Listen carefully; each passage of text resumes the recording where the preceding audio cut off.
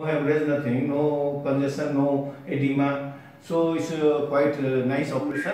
But the what I think is it needs uh, speech therapy, uh, speech therapy, voice therapy. Yes, Yeah. yes, we can be put on speech there. If you have a qualified speech or voice therapist, you can take speech therapy. That's Yeah, okay. yeah. That's I, I have suggested. If you got, then you come here. Yeah, thus I have suggested uh, to have a okay. And what the problem is, he's a, he's a, he's a, he's a voice user, he's a, he's a politician, so he speaks. Even our, uh, we have given instruction to not uh, speak more, but he used to speak.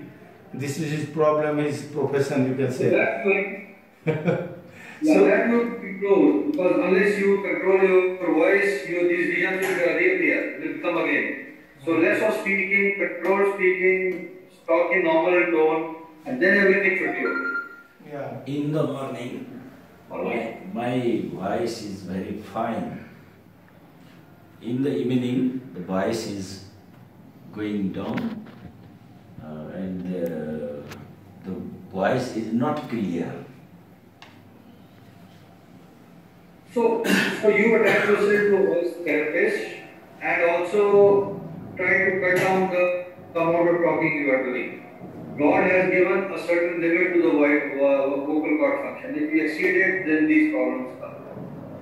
So, Dr. will attach you to a voice therapist, follow that.